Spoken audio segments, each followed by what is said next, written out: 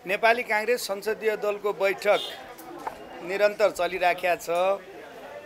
अस्ति र आज गरेर जम्मा पचासजना साथीहरूले बोल्नुभएको छ।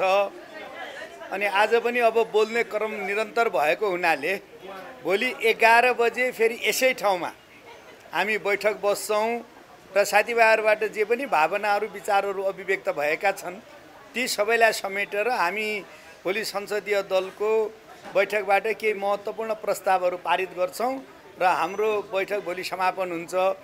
कुरा सबै धेरै विषयमा कुरा उठेको छ। सबै धेरै विषयमा कुरा उठेको छ। अनि ती सबै विषयहरूलाई हामी समेटेर भोलि महत्त्वपूर्ण प्रस्तावहरू पारित गर्छौँ। होइन अस्ति र आज अस्ति र आज गरेर पचासजना माननीय सदस्यहरूले बोल्नु भएको छ। यहाँ सरकार बदल्ने सरकार ढाल्ने अर्को बनाउने सरकार फेर्ने कुरा भएको छैन।